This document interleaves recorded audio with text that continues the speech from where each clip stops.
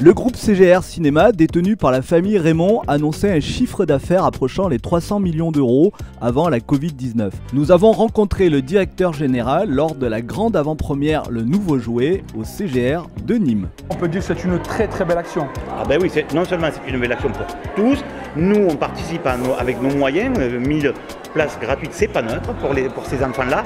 Euh, on n'a pas d'arrière-pensée sinon que faire plaisir à des gens qui sont euh, la plupart bénévoles et qui travaillent euh, dans le bon sens. On a vu tous les gens aux arènes, les gens sur scène, ceux qui participent, ceux qui sont contre les violences sexuelles par rapport aux enfants, etc. Il n'y a, que du bon. Voilà. En tout cas, moi je peux vous dire merci de, leur part et merci de tout ce que vous faites pour, pour les enfants. C'est avec grand plaisir. Merci à vous.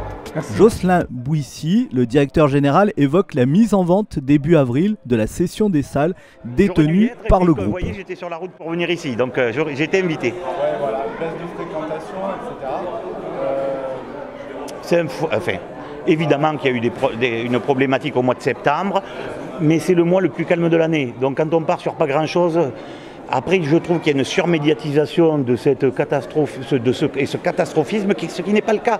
Quand il n'y a pas de film, il n'y a pas de film. Ça va être dur, il ne faut pas se leurrer. Il y a du film aujourd'hui, ça va être mieux. Il y a la Coupe du Monde, jusqu'à Avatar, et l'année prochaine avec euh, des blockbusters et des films français de dingue, ça va être une année record. Aujourd'hui, c'est moins bon, mais il y a une seule raison à ça. C'est pas que les gens affects, c'est pas l'après-Covid, c'est pas tout ça. C'est qu'il y a moins de films parce qu'il y avait eu moins de production et les gens avaient, les distributeurs avaient décalé les films. Moi, je suis optimiste de nature. On voit très bien que dès qu'il y a du film, les gens reviennent. Bon, ben voilà, il y a eu un petit peu moins en septembre. Ceci dit, de quoi parle-t-on? En septembre C'est un mois très faible et donc voilà, il faut arrêter ce catastrophisme ambiant. Évidemment qu'il faut peut-être qu'on se réinvente. Évidemment qu'il y, a des nouveaux entrants, les plateformes, Netflix, Amazon, Disney+.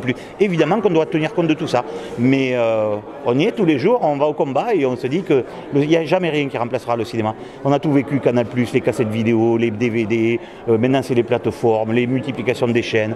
Euh, et, ça reste toujours l'émotion du grand écran. Donc je ne suis pas très inquiet à terme.